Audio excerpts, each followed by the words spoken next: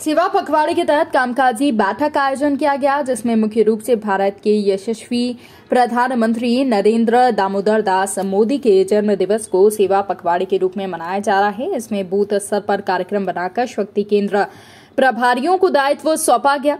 बैठक में मुख्य रूप से पोहरी विधानसभा के विधायक व मध्य प्रदेश शासन में लोक निर्माण विभाग के राज्य मंत्री सुरेश धागर राठखेड़ा, जनपद अध्यक्ष रामकली आदिवासी, नगर परिषद अध्यक्ष रश्मि नेपाल वर्मा, नगर परिषद उपाध्यक्ष कृष्ण लता संजीव शर्मा, कृष्ण प्रभारी नरोत्तम रावत, मंडल अध्यक्ष आशुतोष जैमनी के साथ ही नगर परिषद पोहरी के सभी पार्षदगण, वरिष्ठ भाजपा नेता मुरारी लाल धाकड़, मोहन कुमार उपाध्याय दिनेश जाटव, प्रकाश धाकर, कुलदीप शर्मा, लक्ष्मी नारायण खटीक, संतोष रावत, पप्पू आदिवासी, भरत जाटव, कुसुम लखन, सुषमा गोयल, मीना जाटव, सुशीला रावत, नरेश शर्मा के साथ मीडिया बंधु उपस्थित थे। ये भाजपा परिवार है और भाजपा पार्टी संगठन सर्वपार्टी है। भाजपा में संगठन ही सर्वोपरि और संगठन से पार्टी आज इतनी ऊंचाइयों पर पूरे देश में इस देश के लोकप्रिय प्रधानमंत्री मोदी जी ने एक अभियान चलाया। और ये पखवाड़ा हमारा सत्रह तारीख से दो अक्टूबर। तक। रोज कुछ ना कुछ हम करेंगे। और भाजपा पार्टी करती है।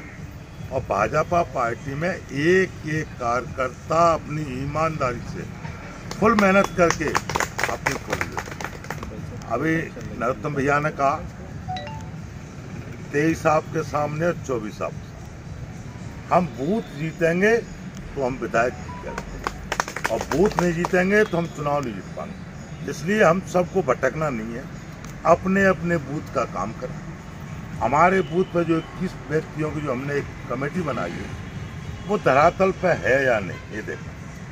दूसरा, हमारी योजना, केंद्र की योजना और मध्य प्रदेश सरकार की योजना। कौन कौन सी योजना किस किस घर को मिल रही है और किस किस घर को नहीं मिल पाई? और नहीं मिली तो उसका कारण क्या? कुटीर क्यों नहीं मिल पाई? राशन कार्ड क्यों नहीं बन पाया? सम्मल योजना कितने केस हमारे बकाया? लोग बीमारी कई लोग कार्ड नहीं बनवा पाए आयुष्मान कार्ड हमारा क्यों नहीं बन पाया? उसके लिए एक हम उसके लिए अध्यक्ष जी अपन एक शिविर भी लगा शिविर लगा के ऐसा कोई व्यक्ति नहीं रहा उसका हम कार्ड ना बना पाए। और जो सारी समस्या जी हमने सुलटा ली और घर में बैठ के मीटिंग करोगे तो तुम कुछ कर नहीं पाओगे। हमें हर घर तक जाना होगा अपनी ड्यूटी निभानी